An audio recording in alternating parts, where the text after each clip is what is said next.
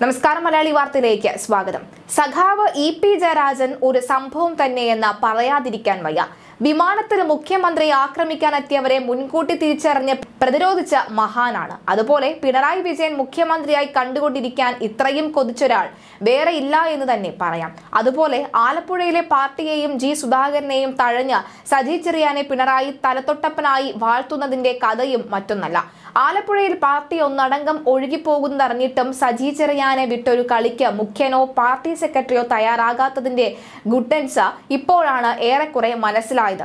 ഉമ്മൻചാണ്ടിക്കെതിരെ ലൈംഗിക അതിക്രമ പരാതി ഉണ്ടാക്കി അതിനെ വേണ്ട വിധത്തിൽ വിപ്ലവമാക്കി മാറ്റിയ രണ്ട് സിംഹങ്ങളാണ് ഇ പി ജയരാജനും സജി ചെറിയാനുമെന്നാണ് പുറത്തുവരുന്ന വിവരങ്ങൾ. എന്തായാലും കാര്യങ്ങൾ സി പി എമ്മിന്റെ പിടിയിൽ നിർത്താനായില്ല എന്ന സി ബി ഐ കോടതിയിൽ നൽകി റിപ്പോർട്ട് വായിക്കുന്നവർക്ക് മനസ്സിലായി തുടങ്ങിയിട്ടുണ്ട്. സോളാർ തട്ടിപ്പ് കേസ് ഉമ്മൻചാണ്ടിക്കെതിരെയുള്ള ലൈംഗിക പീഡന പരാതിക്കായി മാറ്റി അധികാരത്തിലേറാൻ സി നടത്തിയ നെറുകെട്ട അജണ്ടയുടെ പിന്നാമ്പുറ കഥകളാണ് സി റിപ്പോർട്ടിലൂടെ പുറത്തു വന്നിരിക്കുന്നത്.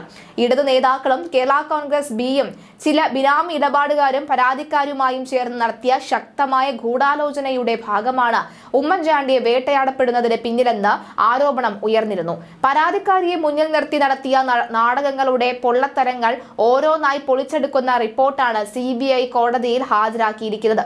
സോളാർ കേസിൽ സർക്കാരിനോ ഖജനാവിനോ യാതൊരു നഷ്ടവും ഉണ്ടായിട്ടില്ല എന്ന് അറിഞ്ഞുകൊണ്ട് തന്നെയാണ് സി പി എം സോളാർ വിഷയം ഉയർത്തിക്കാട്ടി അണികളെ രംഗത്തിറക്കിയത്. എന്നാൽ സോളാർ കേസിന്റെ പേരിൽ നടന്ന സമരങ്ങളിൽ നശിപ്പിച്ച കോടികൾ അന്വേഷണ കമ്മീഷനും മറ്റും നൽകിയ തുകകളെല്ലാം സർക്കാർ ഫണ്ടാണ്. സി പി എം സ്വയം സൃഷ്ടിച്ചെടുത്ത കഥയുടെ പേരിൽ കേരളം പത്തു വർഷത്തോളം ദുരന്തം അനുഭവിക്കുക മാത്രമല്ല ഖജനാവ് ചോർത്തുകയും ചെയ്തുവെന്നതാണ് വാസ്തവം.